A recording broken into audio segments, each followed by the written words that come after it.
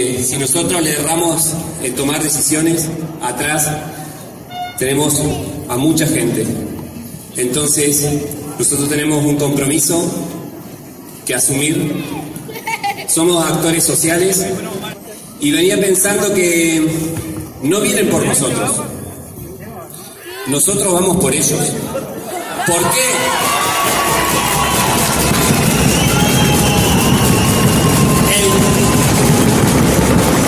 Primero de septiembre se empiezan las bases sólidas para el 2023 recuperar la provincia, porque Andrés Perecini va a ser el gobernador.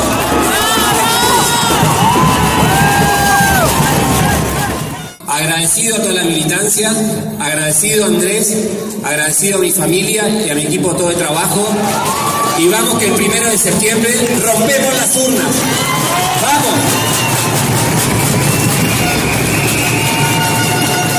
Matías Ramos.